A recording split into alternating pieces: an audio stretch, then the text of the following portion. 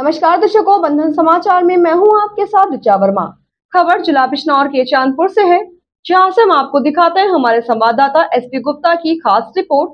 चांदपुर में चिकित्सक की लापरवाही से एक जच्चा की मौत हो गई।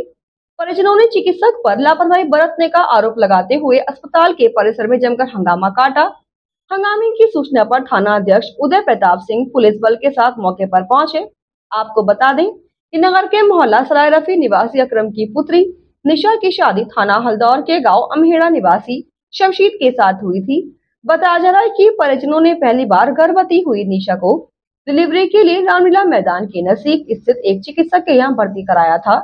चिकित्सक ने परिजनों को गर्भवती निशा का अल्ट्रासाउंड कराने का सुझाव दिया। अल्ट्रासाउंड देकर चिकित्सक ने बच्चे के मर जाने की बात कही।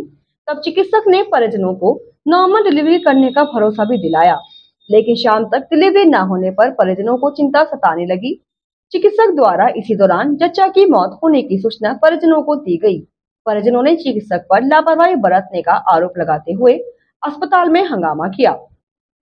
उन्होंने चिकित्सक के खिलाफ सख्त कार्रवाई करने की भी बात कही। उधर थाना अध्यक्ष उदय प्रताप सिंह का कहना है कि तहरीर मिलने पर ही कार्रवाई की जाएगी। मृतक के परिजन नसीम अहमद ने जानकारी देते हुए बताया, ऐसी बच्चा हो जाएगा। तुम देखा, तुम परेशान हो कि मेरा मुझे परेशान करो ऐसी बच्चा हो जाएगा। चल भाई। अब कम से कम पाँच बजे क्या इसने? चार बजे कि भाई इसका ऑपरेशन होगा जब इसके भैया ने कहा कि भाई हमें तो पूरी बता ऑपरेशन की जो तो ऑपरेशन कर, तू कर, तेरी ज़िम्मेदारी बात की होगी। या तुम कहो ऐसे ले जाओ।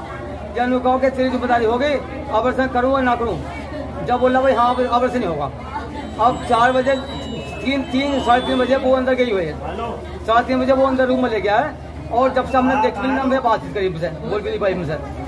और कम से कम छः बजे सात बजे सात बजे डॉक्टर बुलाए ना ऑपरेशन के लिए और मतलब तीन तीन बजे गई हुई लड़के अंदर और सात बजे डॉक्टर बुलाए ना ऑपरेशन के लिए वहीं डॉक्टर अमन भाटिया ने जानकारी देते हुए बताया। पेशेंट आज आया अल्ट्रासाउंड के लिए। और उसका बच्चा तीन दिन से डेड था।